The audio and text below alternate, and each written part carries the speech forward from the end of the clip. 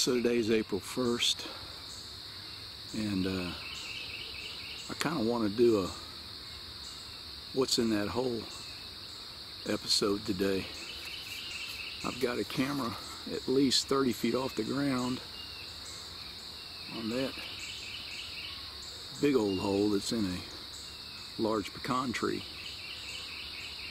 I've had it up there for a few days, so I think I'll pull the card